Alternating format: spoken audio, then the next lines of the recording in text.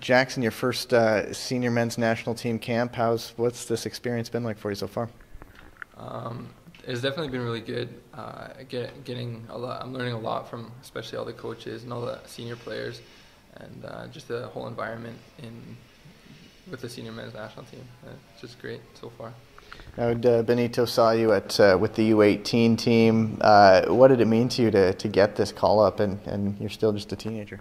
Well, he I was in Spain about two weeks ago, and, and he was um, he was watching our tournament, and I, I knew he was watching, so I just tried to play the best I could, and, and then um, about about five or six days after that, I got a call from from them saying that they wanted me in for this camp, and I was just really excited to know that I uh, impressed the right people in that tournament, and uh, it was just I don't know, it's just great to hear the call and excited to get here and be here.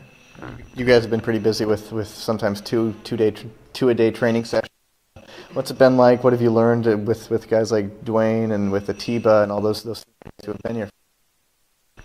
It, it it's it's kind of normal right now doing two days. Um, it, it's obviously hard playing that much, but I mean it's um, it's definitely good, especially playing with all these older players and like you said, Dwayne and stuff. That even when you're playing with them, they, they give you tips while you're playing against them, even like when they're your opponents, and, and they always help you learn.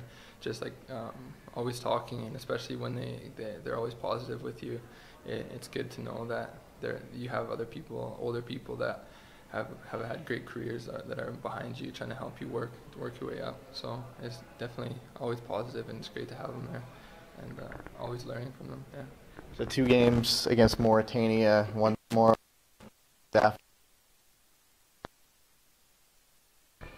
Um, just, just uh, I don't know, just keep keep advancing, keep learning, keep. Uh, I want to hopefully get some playing time, uh, get capped with the the national team, and um, yeah, just, uh, just keep learning.